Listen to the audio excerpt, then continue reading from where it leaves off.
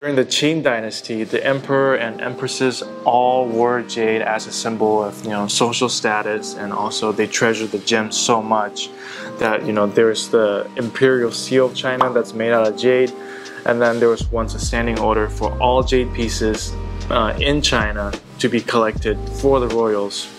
Hey all, Jackson here at Baikalla Jewelry. Today we have a very interesting topic. As you can see from the title, we're going to be talking about the history of jade bracelets. So jade bracelets has been around a long time. You know, they're gorgeous and they're they've been a symbol of prosperity, good luck. But what's the history behind them, right?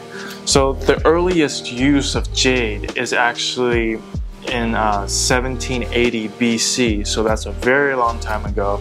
So they were found uh, used as like ritual objects, you know, and jade bangles are part of it and valued for its beauty and symbolism.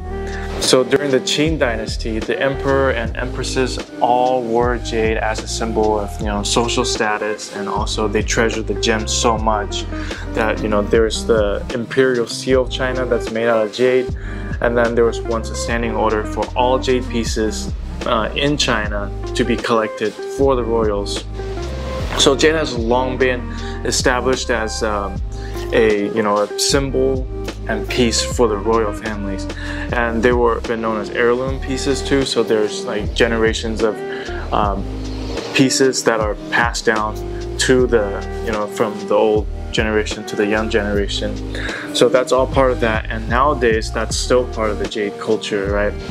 So all in all jade has been the symbol of prosperity good luck uh, wealth and um, social status for a long time and they were treasured in many many cultures also. So such as the Mayans they could treasure it. Of course the Chinese and the Asian cultures the Vietnam Vietnamese uh, Filipino culture. New Zealand has a deposit of nephrite jade too so that's been a, a symbol of some European cultures also so jade is not only limited to Asian cultures, and there's so many other cultures that share the love of jade, treasure jade. And today, the gemstone is still treasured around the world and worn as you know fashion statements by people all over the world.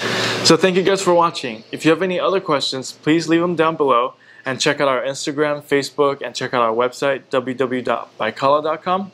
Uh, we'd be happy to answer any questions for you. And here at Baikalla Jewelry, we only carry natural, untreated jade. And that's what we do. We have hundreds of jade bracelets available on our website. So go check them out. Thank you guys for watching.